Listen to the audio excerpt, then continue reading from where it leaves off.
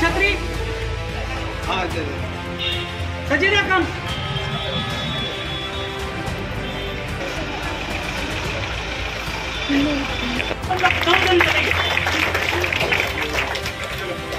ये चालीस साल जिला परिषद में रहे और डेप्यूटी सीओ का लिखने के लिए टाइम है कि तुम बाहर वर्क के तुम तुम कौन होता है वातावरण? आज मैं दिखाता हूँ। इनको बताओ एक और इतिहास बता दो सबको। उनके पास बीन बास्केट ड्रम नहीं रहता है। तो क्या करते बेचारे? रोज जमा करते हैं हर सौ सौ फुट में जमा करते हैं और उनका सबसे अच्छा मित्र है पाचिस का तिली आओ आग लगाओ। कल्याण में देखा है कि नहीं तुम लोगों को? काय आंदोलन होतं तुमचं आज? आज जे आता जे रोड खराब झाले आहेत आपला जो कल्याण जो पूर्ण एरिया आहे त्याचे रोड खराब झाले आहेत ना. म्हणून आमच्या स्कूलनी ॲज अ स्कूल आम्ही प्रोटेस्ट करतो आज के डी एम सीच्या ऑफिसमध्ये आमचे सर आता आत गेले आहेत बोलायला. आम्ही आता इकडे साफसफाईचं काम सुरू करणार आहे झाडू वगैरे मारणार आहे प्रोटेस्ट करायला. काय म्हणणं आहे तुमचं की की हे याच्याने जे रोड खराब होत आहेत खूप खूपच जास्त पोल्युशन होतं याच्याने. कारण जसं आमच्या सरांनी सांगितलं की माचीस माचीस लावून ते जळवतातच फक्त. ते जास्त पोल्युशनच होतं आहे आपल्याकडे. तर पोल्युशन पण कमी करायचं आहे आपल्याला. आणि मोस्टली रस्ते पण खराब आहेत तर रस्ते पण ठीक करायचे आहेत कल्याणला एक बेटर एन्व्हायरमेंट बनवा बनवायचं आहे आपल्याला राहायला. कारण की कल्याण आपली स्मार्ट सिटी आहे.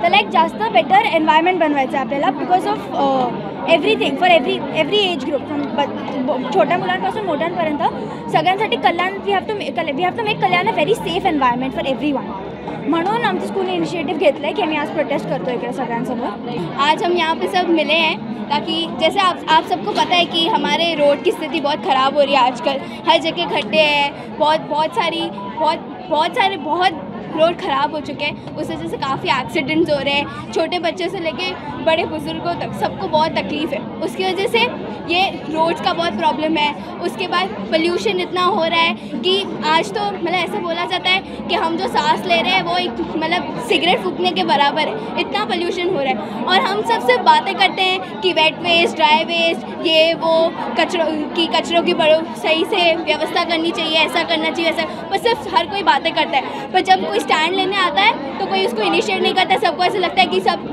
कोई नहीं कर रहा तो हम क्यों करें? पर हम हम पहले इंसान अगर आएँगे और हम इनिशिएट करेंगे तो ही तो ये तो ही तो ये कल्याण सुधरेगा।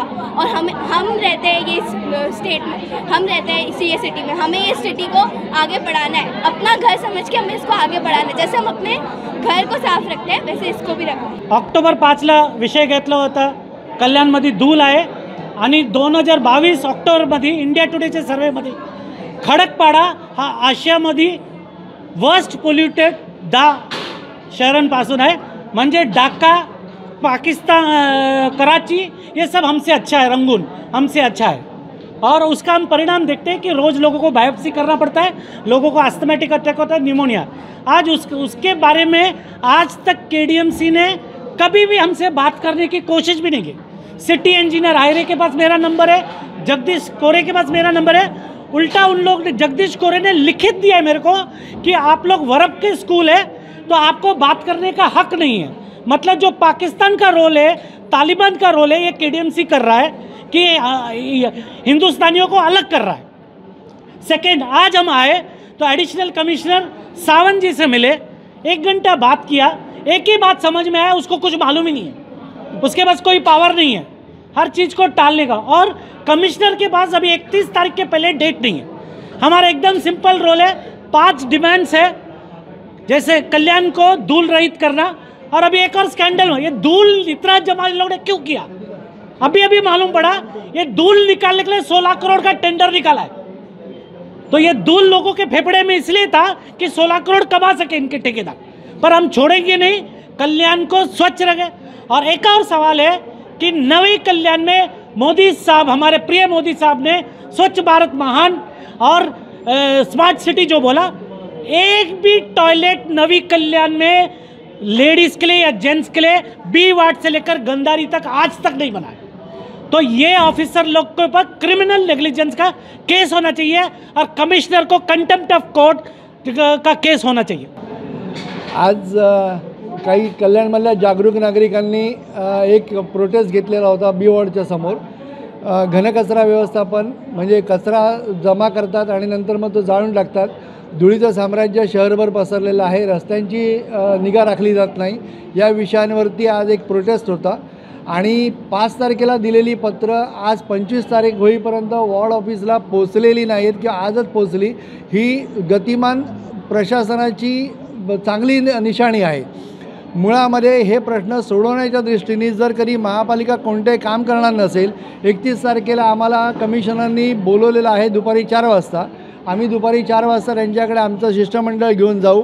परंतु या प्रश्नावरती उद्या सकाळपासून काम व्हायला पाहिजे हे वॉर्ड ऑफिसरला आज आम्ही जाणीव करून दिलेली आहे आणि उद्या सकाळपासून ते काम होईल याची आम्ही दक्षता घेऊ. एकतीस तारखेला डेलिगेशन घेऊन जाऊ. त्या दिवशी या सगळ्या गोष्टींचा कल्याण डोंबिवली महानगरपालिका परिक्षेत्रामध्ये इम्प्लिमेंटेशन कसं होईल याची आपण दक्षता घेऊ. हे आले होते माझ्याकडे. त्यांचा जो विषय होता की रस्त्याबद्दलचा विषय होता. रस्त्यावरती खड्डे आहेत. त्याच्याविषयी त्यांना मी माहिती दिली की बा ठीक आहे पावसाळ्यात रस्त्यावरती खड्डे होते पॉटहोल्स होते मान्य पण पाऊस एवढा होता त्याच्यामुळे आपण खड्डे भरत होतो तरी ते पुन्हा पुन्हा उखडले जात होते. त्याच्या उपरसुद्धा आता पावसाळा संपल्यानंतर आपण रस्त्याचं डांबरीकरण चालू केलं आहे साईड बाय साईड प्रत्येक रस्त्याचं डांबरीकरण आपण करत आहोत. त्यांचा रस्त्याबद्दलचं जे एक विषय जो होता मेन जो बीर म्हणजे बी वॉर्डच्या समोरचा रस्ता त्याचं त्यांना हेही सांगितलं की एम एम आर डीच्या माध्यमातून आपण तो रस्ता आता कॉन्क्रीटचाही करतो आहे स्वच्छतेबाबत जे आहेत ते सुद्धा त्यांना सांगितलेलं आहे की बाबा माननीय आयुक्तांनीसुद्धा त्यांची इच्छा होती की माननीय आयुक्तांनी आमची भेट घ्यावी. तर त्यानुसार आयुक्तांशी बोलणं करून त्यांचं आपण मिटिंग पण फिक्स केलेली आहे. ऐकून त्यांना वेळ दिला आहे एकतीस तारखेला दुपारी चार वाजता ऐकून त्यांना वेळ दिलेला आहे. त्याच्यानुसार त्यांच्या ज्या काय मागण्या आहेत त्या आयुक्तांसमोर मागणार आहेत. स्वच्छतेच्या बाबतीत जे त्यांचे विषय होते ते सुद्धा त्यांना आपण ॲश्युरन्स दिला आहे स्वच्छता आपण करतोच आहोत महापालिका आपल्या परीने. पण अजून जे काही धूळ वगैरे आहे याच्यासाठी सुद्धा जे काही स्पेसिफिक मशिनरी त्यांचं म्हणणं आहे ते मशीनद्वारे होत नाही. तेही आपण त्यांना सांगितलं की त्याच्याद्वारे उद्यापासून ते स्वच्छतेचं जे काय आहे ते चालू होऊन जाईल.